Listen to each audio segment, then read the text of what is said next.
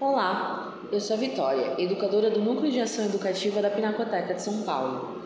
Hoje faremos uma leitura da obra intitulada O Pagamento da Dívida Externa Argentina com Milho, o Ouro Latino-Americano, feita por Marta Minuhin em 1985. Ela integra a mostra Marta Minuhin ao vivo, em cartaz na Pinacoteca Luz de julho de 2022 a janeiro de 2024. Primeiramente, vamos observar a obra por partes. Ela se trata do registro de uma performance, que é uma ação artística que mescla aspectos das artes visuais, do teatro, da dança e da música, mas pode envolver também outros elementos e dinâmicas, incluindo o ambiente onde está ocorrendo a ação.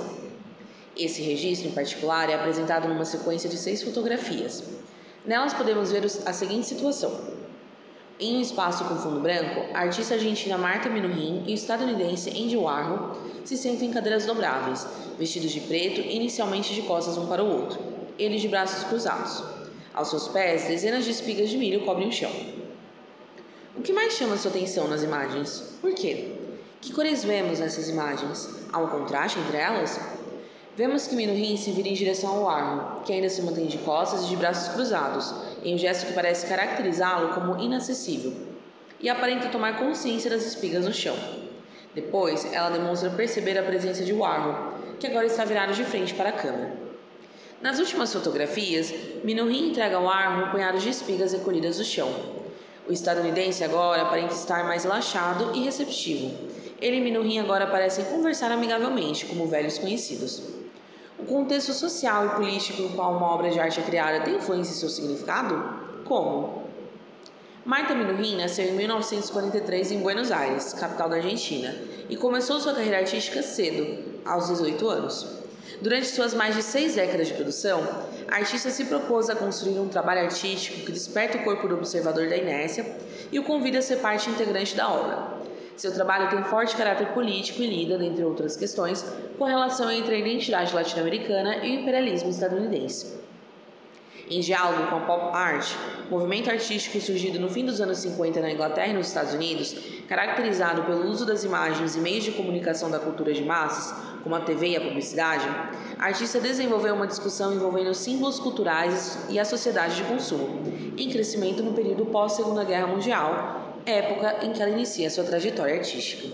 Andy Warhol, por sua vez, nasceu em 1928 em Pittsburgh, nos Estados Unidos, e se consolidou como o principal artista da pop art. Sua obra inclui as famosas serigrafias que replicaram imagens de personalidades da mídia e artigos de consumo da década de 60, como as reproduções dos rótulos da sopa Campbell. Seu trabalho se tornou, portanto, um símbolo da sociedade de consumo que representava o chamado modo de viver americano. Revendo a obra da artista, o que o gesto de entregar as espigas pode simbolizar? Quais relações podemos estabelecer entre as fotografias e o título da obra? O pagamento da dívida externa argentina com milho, o ouro latino-americano. O título da obra faz referência à dívida externa argentina. Dívida externa é o termo usado para se referir ao empréstimo ou financiamento que um país faz no exterior, com outros governos, bancos privados ou, mais comumente, com o Fundo Monetário Internacional. Geralmente, os credores são chamados países desenvolvidos, que historicamente foram, em sua maioria, colonizadores, e os devedores são comumente países em desenvolvimento, que foram, por sua vez, colonizados. Na época que a obra foi criada, na década de 80, dentre a variedade de países devedores, boa parte eram latino-americanos, sendo que os credores geralmente eram europeus e norte-americanos. Há aqui, portanto, um comentário irônico a respeito da lógica da dívida. Faz sentido um país da América Latina, após séculos de colonização e exploração de pessoas, terras e recursos naturais, que resultou na sua situação de subdesenvolvimento, ainda ter algo a pagar aos seus antigos colonizadores? Como Minuhin se propõe a quitar a dívida do seu país?